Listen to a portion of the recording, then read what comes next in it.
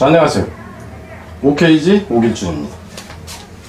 어, 여기서 이제 여러분이 보기에는 이거는 좀 그, 뭐 생리학적인 좀 이런 쪽 용어에서 좀 자주 봤을 것 같고, 자주라고 하기도 좀 그런데, 뭐 인도 그러면은 인도네시아, 뭐 이 정도는 튀어나오지. 기본적으로는 안쪽이다 하는 거예요.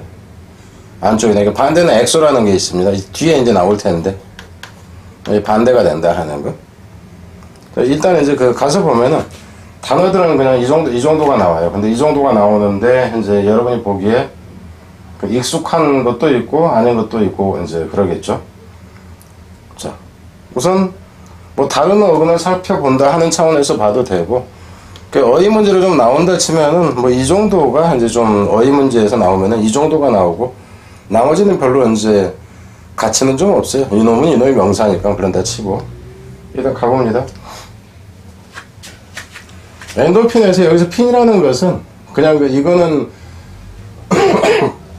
그, 그 생리학 용어에서 뭐 뭐라 그럴까 어떤 그, 그 몰핀이라든가 이런 것처럼 화학 물질로 보면 돼요. 화학 물질을 나타내는데 좀 쓰인다. 그래서 이거 이거 자체는 그러니까 엔도가 아닌데 우리 뇌 안에서 나오는 걸 얘기하죠. 기분이 좋을 때 이제 활성화되는 이제 그 호르몬이죠.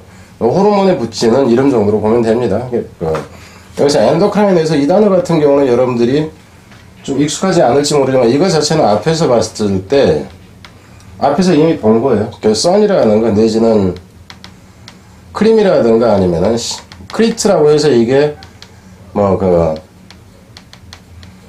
걸러내다 하는 의미로 나왔다 하는 거예요. 예, 걸러낸다. 그러니까는 추린다 하는 의미로 이미 나왔는데 여기서는 이게 거기에 변화 형태이다 하는 겁니다. 예, 변화 형태이다 하는 거.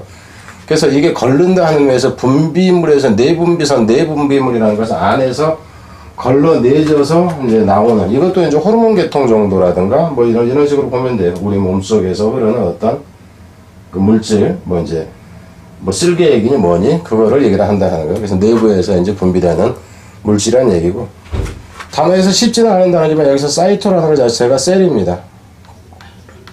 세포라는 의미예요. 근데 세포인데 여기서는 왜?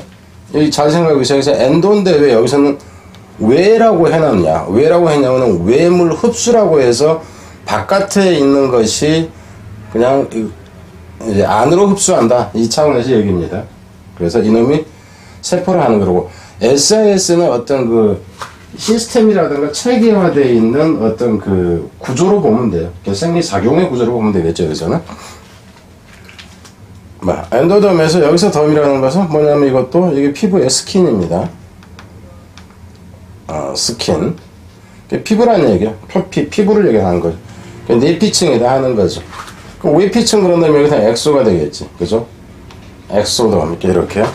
endogamy에서 이 gam이라는 것도 뭐 대여섯 번 이미 봤습니다. 이게 이제 메, marriage라고. 가족, 아니, 아니, 가족이라 아니라 이게 결혼이다 하는 의미라는 얘기죠. 그러니까 종내에서만 그 다른 종족하고 결혼하지 마라. 이걸 얘기를 하는 거죠. 그, 어, 엔도저너스에서 이 전이라는 것은 OS는 풍부하다 하는 형사가 되는 거고, 전이라는 것은 원래 이제 나타하는 의미예요. 그러니까는 나타하는 게 이제 배열하는 의미인데 여기서는 커즈의 개념으로 보면 되겠죠. 그 야기시킨다 하는 거. 내부의 문제 때문에 발생한다. 이렇게 되는 거죠. 엔도서미에서 이 썸이라는 것 자체가 이게 열이에요. 힛.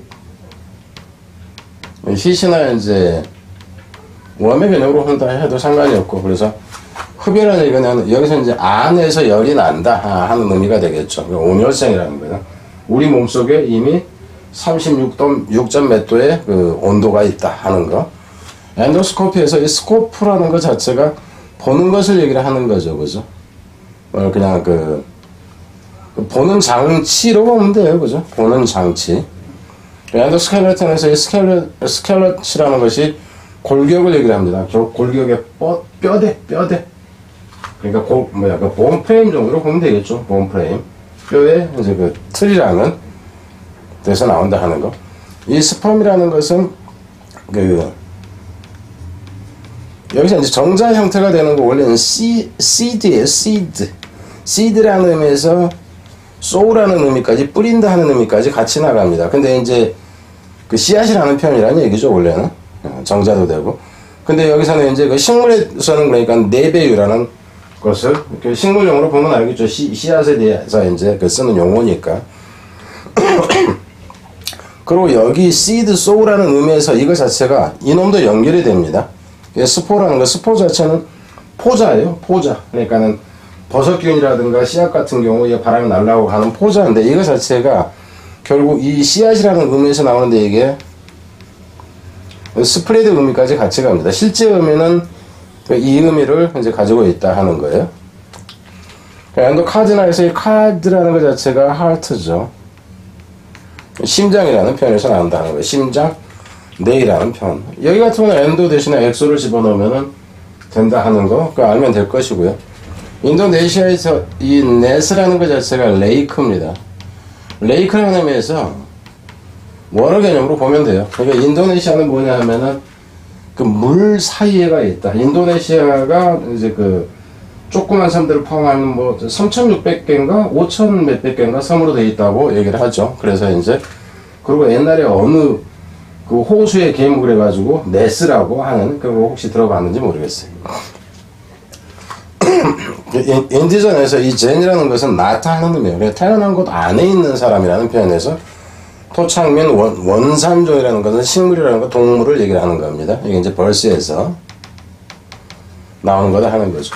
이것도 의미는 여기 이제 어근 의미만 보자면 일단 같아요. 근데 토착의 원산지, 자생의 이제 같이 가는 거고요.